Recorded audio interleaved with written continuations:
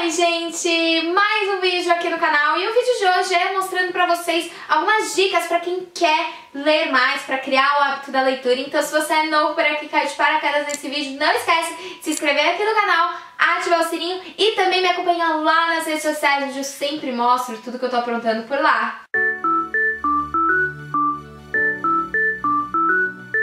Vocês sabem que eu sou apaixonada por literatura, por ler. Isso é um hábito que eu sempre gostei de, desde que eu era pequenininha.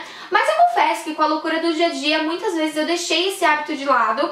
E então eu tô tentando recuperar bastante esse hábito esse ano. E resolvi dar dicas pra quem aí também gosta de ler, ou pra quem aí quer ler mais livros, então eu resolvi juntar algumas dicas que eu usei que me ajudaram muito nesse processo de ler mais.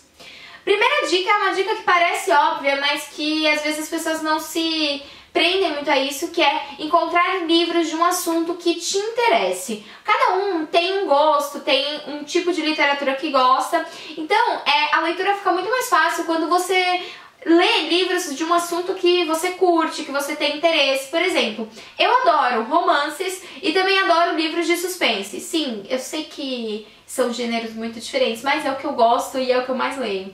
Então são esses tipos de livros que eu costumo procurar para ler e eu percebo que quando eu procuro livros desse gênero, eu costumo ler mais rápido. Se eu leio livros de gêneros diferentes, que eu também leio, mas que não é com tanta frequência, eu percebo que minha leitura ela fica mais demorada, mais lenta e eu não tenho tanta vontade assim de ler. Segunda dica é uma dica que é, ao mesmo tempo que você trata um hábito bom, você também elimina um pouco um hábito negativo, que é trocar o celular pela leitura. Eu sei que a maioria das pessoas tendem a usar o celular, a ver as redes sociais quando tá com um tempo ocioso. Então, tipo assim, tá esperando numa sala de espera ou tá no transporte público e prefere pegar o celular para olhar redes sociais e tudo mais. Então, é, um hábito que me ajudou muito foi trocar esses momentos de tempo livre que eu ia para a rede social trocar por a leitura de um livro. Então isso me ajudava muito porque sempre que tinha um tempinho eu ia lá, lia algumas páginas e eu acabo adquirindo melhor esse hábito. Por exemplo, no transporte público é um lugar que eu adquiri muito o hábito da leitura e que pra mim é até estranho não estar lendo quando eu tô no transporte público. Terceira dica é uma dica para quem aí quer ler tudo de uma vez, que é, se você aí está querendo desenvolver o hábito da leitura, prefira ler um livro por vez.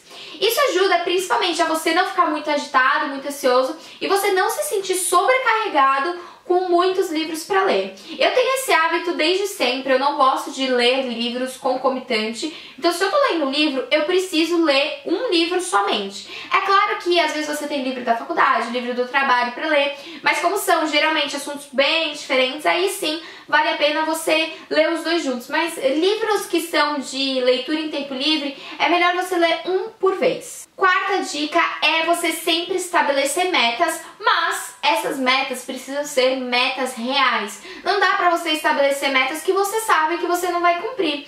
Então vale muito mais a pena você fazer metas pequenas, por exemplo, eu vou ler uma página por dia ou eu vou ler 20 minutos por dia, do que você estabelecer metas como eu tenho que ler 500 páginas por dia, eu tenho que terminar um livro, um livro por semana. Isso são metas irreais que você sabe que, diante da rotina, diante do que a gente tem para fazer no dia a dia, às vezes não é tão fácil de cumprir essas metas. Então, uma coisa que me ajuda muito é estabelecer metas reais. Por exemplo, esse ano, como eu quero voltar a ler mais, o que eu estipulei é que mesmo que eu fique em casa, mesmo aos finais de semana, eu vou tentar ler pelo menos um pouquinho por dia. Eu não estabeleci tempo, eu estabeleci, tipo, eu tenho que ler naquele dia, nem que seja uma página, nem que seja um parágrafo. Isso tem me ajudado a colocar o hábito da leitura todos os dias e, por exemplo, quando termina o dia e eu vi que eu não li, eu costumo pegar antes de dormir e ler um pouquinho até me dar sono e aí eu deixo o livro de lado. Isso também tem me ajudado muito nessa hora antes de dormir. E a minha última dica é uma dica que também colabora com todas as outras dicas que eu dei, é você sempre carregar um livro com você.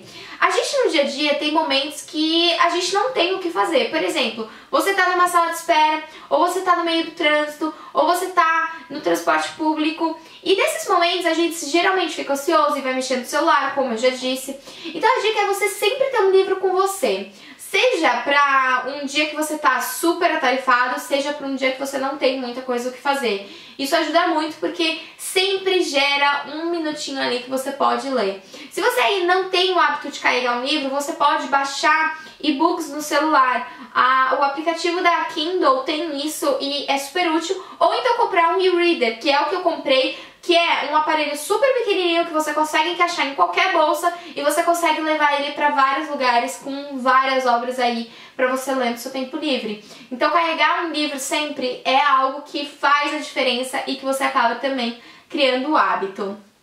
Então é isso, essas foram as minhas dicas para quem aí quer ler mais. Quero saber também quais são as dicas de vocês, então deixa aqui nos comentários. E se você aí gostou desse vídeo, não esquece de deixar o seu like, se inscrever aqui no canal ativar o sininho e também me acompanhar lá nas redes sociais, onde eu sempre mostro as minhas leituras e muito mais por lá.